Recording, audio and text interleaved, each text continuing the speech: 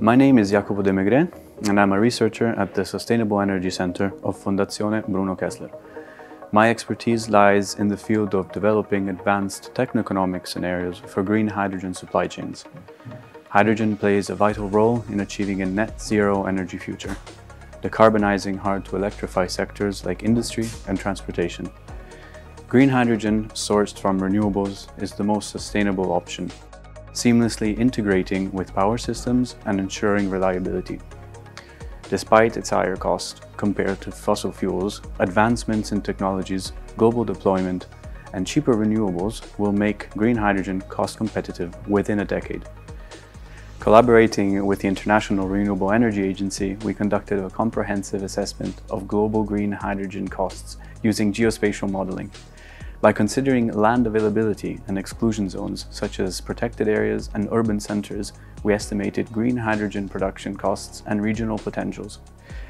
Remarkably, green hydrogen potential exceeds the forecasted 2050 global energy demand by nearly 20 times, but it varies based on costs and renewable capacity. The cost of production depends on cost of renewable inputs and electrolyzers, and the cost of capital. IRENA projects that by 2050, substantial deployment of solar PV, onshore wind, and electrolysis will be needed to achieve a net zero emission system, driving down costs through innovation and economies of scale. In this scenario, green hydrogen production costs could range from 65 cents to 1.25 euros per kilogram. Our assessment also highlighted the geospatial distribution of hydrogen production.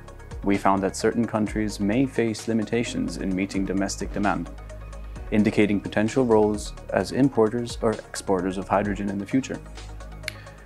Thus demonstrating collaboration and trade relationships are essential for a balanced energy transition. Water availability is crucial for electrolysis, and desalination techniques can be employed in water-scarce areas. Water transport in inland areas may increase supply costs, but these expenses remain relatively small.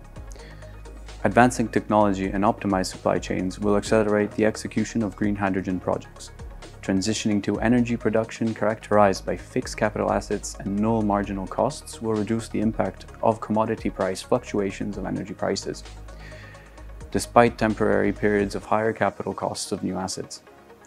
In conclusion, green hydrogen holds immense potential for a net zero energy future. By embracing the sustainable energy carrier, we can decarbonize challenging sectors, ensure power system reliability, and pave the way for a cleaner and brighter future.